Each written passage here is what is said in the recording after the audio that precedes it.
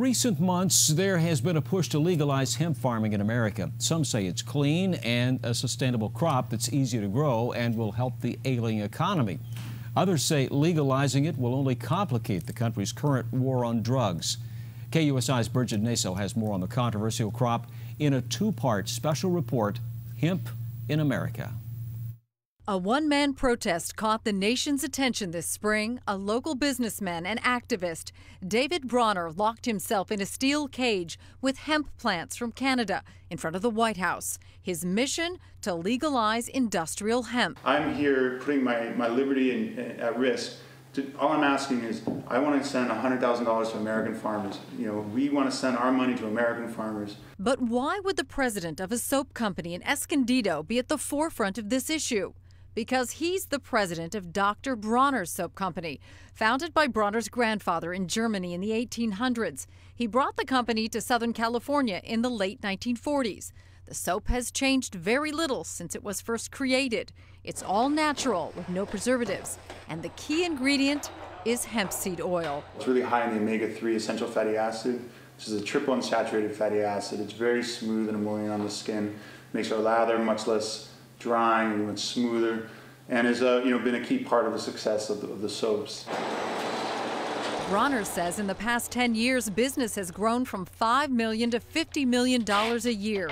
He says Americans want to buy natural and sustainable products, but Bronner can't buy his staple ingredient, hemp oil, from growers in the U.S. Every year, we import 20 tons of hemp seed oil from Canada and send well over $100,000 to Canadian farmers and you know the collectively the, the American industry is sending you know tens of millions of dollars to Canada, China, Europe, whose farmers are allowed to cultivate and process industrial hemp. Sure, a change of policy would benefit him financially, but this, he says, is about ending the war on what he calls a harmless crop. Obama came in, you know, promising that his policy was going to be science and reason-based, rational. I mean, what could be more, you know, rational than, you know, recommercializing industrial hemp in a, in a recession? Hemp farming is not new to American farmers.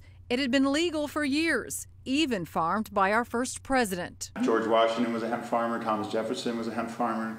Um, you know, the first law of Jamestown was it was illegal not to grow hemp on your farm. You know, it was that important of a, of a crop. Used to make clothing, paper products, and even covered wagons. Bronner says hemp is still used today by manufacturers of German cars. So, what happened to hemp in America? The stigma began in the 1930s at the end of Prohibition.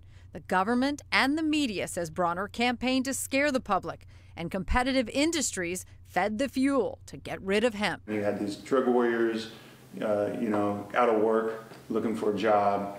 Um, you know, industries like timber and cotton, uh, you know, threatened by by by hemp as a competitive competitive crop. And as a result, except for a short time during World War II to help with the war effort, hemp was banned.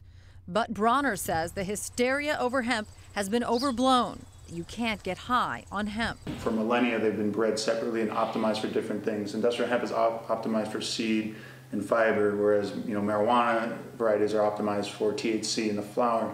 Industrial hemp cannot get you high. And with the current economy, Bronner and even some lawmakers say it's time to allow hemp farming in America again.